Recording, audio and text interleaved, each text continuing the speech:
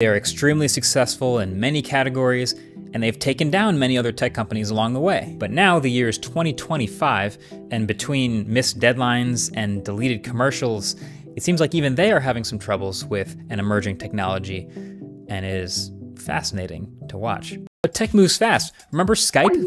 Remember how Skype was like the default for online video calling, and then the pandemic happened in 2020, and then like two years later, everyone used Zoom. There's a lot of pressure to show some sort of AI something. Now, there is some conventional wisdom that would say, hey, Apple, take a second, sit back, relax, do your typical second mover thing. You don't have to rush this. Because there are a lot of examples where Apple is not necessarily first to something, they sort of sit back and let someone else do the working on it and the maturing of the technology happens, and then they jump in and implement it their own way. So they were not first to do OLEDs in their phones. They were not first to do wireless earbuds. They were not first to make a tablet.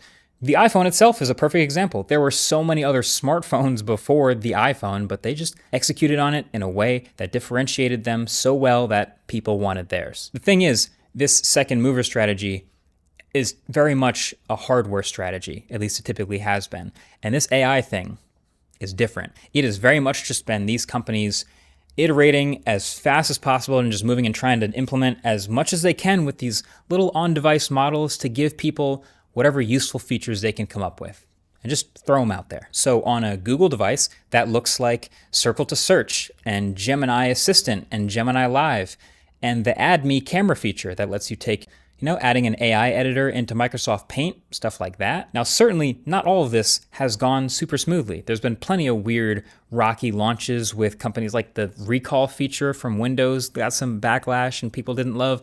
Lots of stuff has not been ideal. There have even been whole startups that were born and died just trying to jump on the AI bandwagon as best they can. But at this point, basically every big tech company has something that they do that they can point at and be like, all right, look, see, we, we do AI.